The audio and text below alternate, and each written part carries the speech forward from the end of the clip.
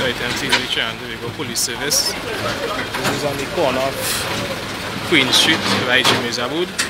Right, there is a lot of, they, they are taking vendor stuff of the pavement. Leave it to wonder, so why it is, they are not taking, what about KISS? Trading at Coelho.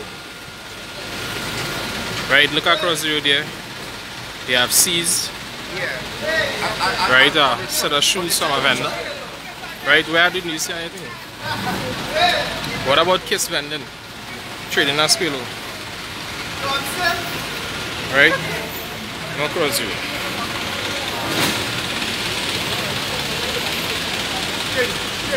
Right?